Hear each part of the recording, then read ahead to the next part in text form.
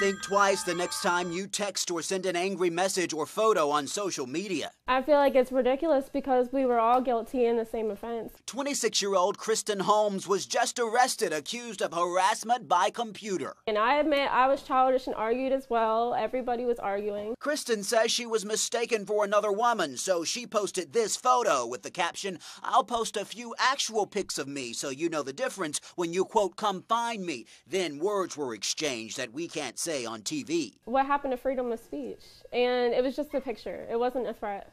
And so the next time you go on Facebook, remember, Holmes admittedly posted ill conceived things on Facebook and now faces a Class 1 misdemeanor that could lead to a year in jail and up to a $2,500 fine. And there's no such thing as a petty crime. There's no such thing as a petty offense. Kevin Carroll with the Fraternal Order of Police says, according to state code, using a computer to send vulgar or indecent language or to threaten illegal or moral acts could get you slapped with the same charge. You're arresting someone for using bad words? It's actually against the law to say it in public. Okay, curse and abuse.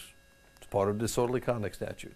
If it's against the law to say it in the public, why wouldn't it be against the law to say it someone through a computer. I thought it was a funny picture, and then I realized later that it was a little bit intimidating, so I took it down. But Holmes ended up in jail because someone shared the Facebook messages with police, who then took out warrants for her arrest. The real message here? Be careful what you put on the internet because you can go to jail for it. Facebook thugging is a crime.